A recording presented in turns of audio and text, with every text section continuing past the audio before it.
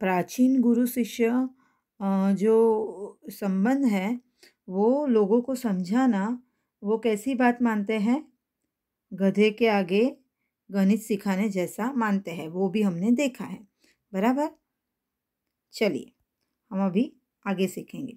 हाँ ये पैराग्राफ भी हमने पढ़ लिया है कि कैसे एक बार एक गामा नामक एक रेसलर आया था और एक रिपोर्टर ने ऐसा बोला कि आपका ही शिष्य बहुत अच्छा है रेसलिंग में तो आप उनसे ही क्यों रेसलिंग की कंपटीशन नहीं करते? जबकि गामा ने पूरे वर्ल्ड के रेसलरों को चुनौती दी थी, तब ये भी हमने सीखा है पिछले पीरियड में। तो गामा जवाब देता है कि मैं अपने ही बेटे के साथ मतलब वो अपने शिष्य को अपने बेटा, अपना बेटा मानता है, बराबर? कि उसके साथ कैसे चुनौती में पार्टिसिपेट कर सकता हूँ, बराबर? ये हमने सीखा। ठीक है, चलिए आगे पढ़ते हैं। वह मेरे पसीने की कमाई, मेरा खून है और मेरे बेटे से भी अधिक प्यारा है। बराबर? वो क्या कहता है गामा कि वो, मैंने उसको सिखाया है दिन रात एक करके और मुझे अपने बेटे से भी ज़्यादा प्यारा है वो। इसमें और मुझमें फ़र्क ही कुछ नहीं मतलब मैं और वो एक ही है। मैं खुद के साथ कैसे लड़ सकता हूँ? मैं लड़ा या वो लड़ा? दोनों बराबर ही होगा। हमारी इस परंपरा को आप समझने की चेष्टा कीजिए। मतलब कि हम दोनों एक ही समान हैं, हम दोनों एक दूसरे के साथ नहीं लड़ सकते और हमारी ये जो परंपरा है तो आप ये समझने की कोशिश कीजिए। हम लोगों को वंश परंपरा से शिष्य परंपरा अधिक प्रिय है। समझ में आई बात? वो क्या कहते हैं कि हम, हमारे शिष्य हमारे लिए अधिक है, अधिक प्रिय है हमारे लिए। ख्याति और प्रभाव में हम सदा यह चाहते हैं कि हम अपने शिष्यों से कम प्रभावी रहें।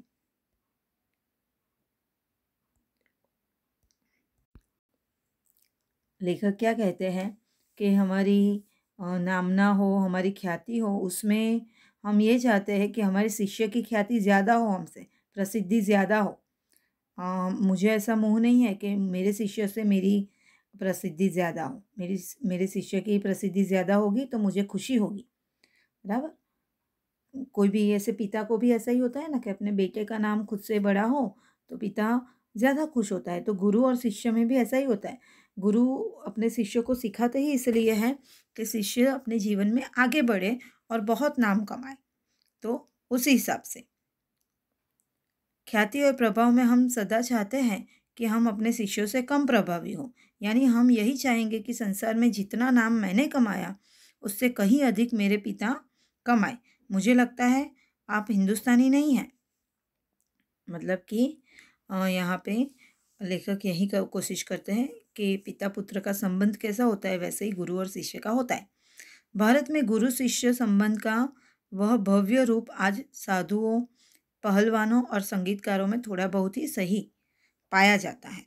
क्या कहते हैं लेखक के भारत में गुरु और शिष्य का संबंध का जो एक रूप माना जाता था, वो जो भव्य रूप है, वो किसमें देखने को मिलता है? सिर्फ़ साधुओं में देखने को मिलता है, रेसलरों में देखने को मिलता है और थोड़े से म्यूजिशियन में, संगीतकारों में देखने को मिलता है, वरना इतना हमें देखने को नहीं मिलता। भगवान रामकृष्ण बरसों योग्य शिष्य को पाने के लिए प्रयत्न करते रहे और बताते हैं कि बहुत सालों तक रामकृष्ण जो हैं, वो बहुत सालों तक एक योग्य शिष्य पाने की कोशिश करते रहे। यहाँ पे भगवान रामकृष्ण मतलब लॉर्ड राम और लॉर्ड कृष्ण, ऐसा नहीं बात की, रामकृष्ण परमहंस की बात की है। तो आपको यहाँ पे समझना पड़ेगा कि यहाँ पे जो भगवान रामकृष्ण बताया है, वो कौन है? रामकृष्ण परमहंस की बात की है। ठीक है? चलिए। उनके जैसे व्यक्ति को भी उत्तम शिष्य के लिए रो रो कर प्रार्थना करनी पड़ती थी। मतलब उनको वो किसी को ज्ञान देना चाहते थे, लेकिन उनको ऐसा शिष्य नहीं दिखाई दे रहा था बरसों तक कि जिनके साथ वो अपनी विद्या, अपना ज्ञान उन, उन्हें दे सके, ठीक है? तो ऐसा कोई शिष्य उन्हें मिलता नहीं था। तो इसीलिए वो भगवान से रो रो कर प्रार्थना करते थे कि ऐसा कोई मुझे काबिल इंसान मिल जाए इसे सम समझा जा सकता है कि एक गुरु के लिए उत्तम शिष्य कितना महँगा और महत्वपूर्ण है, बराबर? उसके लिए वो बहुत दिन रात एक करके उनको ज्ञान देते हैं। संतान प्राप्ति वर्ग उन्हें दुख नहीं देता, पर बगैर शिष्य के रहने के लिए वे एकदम तैयार नहीं होते। मतलब कि उनको संतान प्राप्ति करने का इतना दुख नहीं होता था, जितना उनको शिष्य के बगैर रहने का दुख होता था, बराबर? आगे देखिए। इस संबंध में भगवान ईसा का एक कथन सदा स्मरणीय है। भगवान ईसा ने एक सेंटेंस बोला हुआ है, वो हमेशा मुझे याद रहेगा, ऐसा लेखक कहते हैं। उन्होंने कहा था, मेरे अनुयायी लोग मुझसे कहीं अधिक महान हैं और उनकी जूतियाँ होने की योग्यता भी मुझे नहीं है। क्या बोलते हैं कि मेरे जो अनुयायी हैं मतलब मेरे मुझे जो फ़ॉलो करते हैं, वो लोग मुझसे भी महान हैं और उनके पैर की जूती के समान भी मैं नहीं मानता अपने आप को। यही बात है गांधी जी बनने की क्षमता जिनमें है, उन्हें गांधी जी अच्छे लगते हैं और वे ही उनके पीछे चलते हैं। क्या कहते हैं वो कि गांधी जी जो बनने की क्षमता जिन लोगों में होगी ना, वही उन्हीं लोगों को गांधी जी अच्छे लगेंगे। मतलब हमें जैसे लोग अच्छे लगते हैं, जो महान लोग हमें अच्छे लगते हैं ना, तो हम में वो क्वालिटी होगी, तो ही हमें वो अच्छे लग सकते हैं। उनकी बातें और उनके व्यवहार, उनके जीवन की बातें, तो ही हमें अच्छी लग सकती हैं।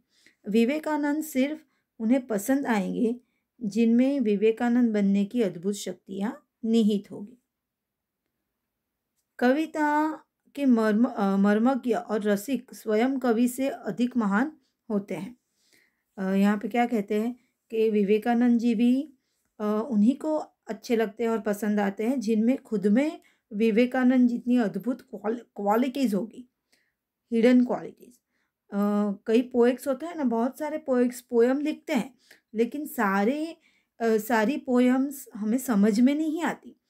जिन लोगों को कोई पोएट की पोएम या कुछ भी ऐसा समझ में आता है, तो वे खुद ही महान व्यक्ति होते हैं। ऐसा कहते हैं कि वो उसका मर्म समझ पाते हैं। जो पोएट ने क्या कहा, उसकी फीलिंग्स और उसका व्यवहार, उन उसने जो शब्दों में लिखा है, वो समझ सकते हैं। तो वैसे ही लोग समझ सकते हैं। ठीक है?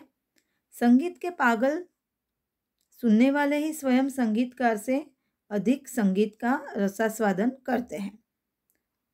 अ, संगीत में संगीत के पीछे जितने लोग पागल हैं, तो वे लोग कैसे हैं कि जो सही में संगीतकार तो एक बार संगीत बना देता है, लेकिन उसका रसास्वादन मतलब उसको इंटरेस्टिंगली सुनना और बार-बार सुनना, वो किसे पसंद आता है कि जो सही में वो संगीत समझ सका हो। यहाँ पूज्य नहीं, पुजारी ही श्रेष्ठ है। यहाँ पे लेखक क्या कहते हैं कि जो जिसकी पूजा करी जाती है, वो महान नहीं है, लेकिन जो पूजा कर रहा है, वही महान है। यहाँ सम्मान पाने वाला नहीं, सम्मान देने वाला महान है। समझ में आई बात? सम्मान पाने वाला तो अप है ही अ, महान, लेकिन सम्मान देने वाला उससे भी ज़्यादा महान है। स्वयं पुष्प में कुछ नहीं है, पुष्प का सौंदर्य उसे आने वाले की दृष्टि में होता है। लाने वाले की यहाँ पे कहने का तात्पर्य है, आने वाले नहीं है, यहाँ पे ज़रा करेक्शन करना पड़ेगा। पुष्प का सौंदर्य उससे लाने वाले, ठीक है? तो क्या कहते हैं यहाँ पे लेखक कहते हैं कि पुष्प की सुंदरता किसमें है? कि जिसके ऊपर पुष्प चढ़ाते हैं वो नहीं, उसमें नहीं है। जो वो पुष्प लेके आया है, वो व्यक्ति अधिक सुंदर है। दुनिया में कुछ नहीं है, जो जो कुछ भी है, हमारी चाह में, हमारी दृष्टि में है।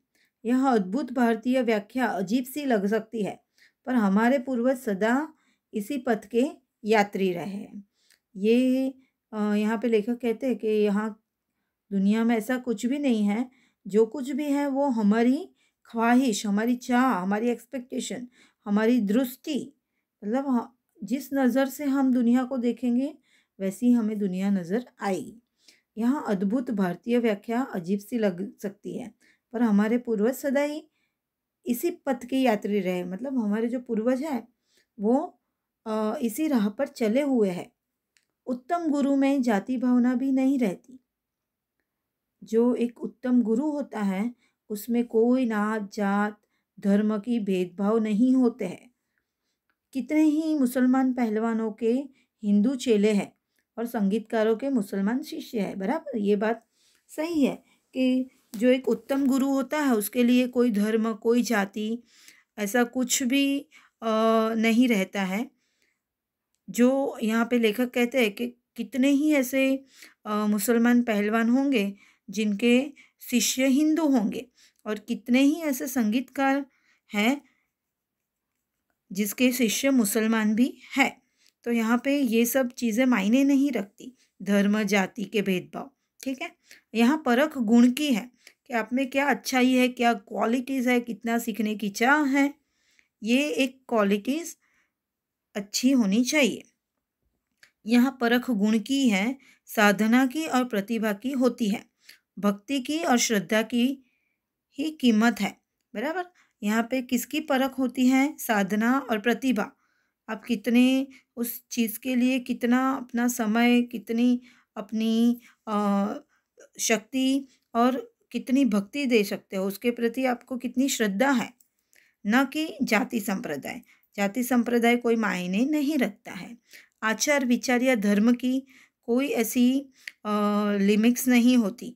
कुछ भी सीखने के लिए और एक अच्छे गुरु के लिए, एक सच्चे गुरु के लिए। मुझे क्या लिखाया सॉरी मुझे क्या लिखाया था एक विद्वान मुसलमान ने ही? उन्होंने कभी नहीं सोचा था कि यह हिंदू है और मुसलमान बनाना चाहिए।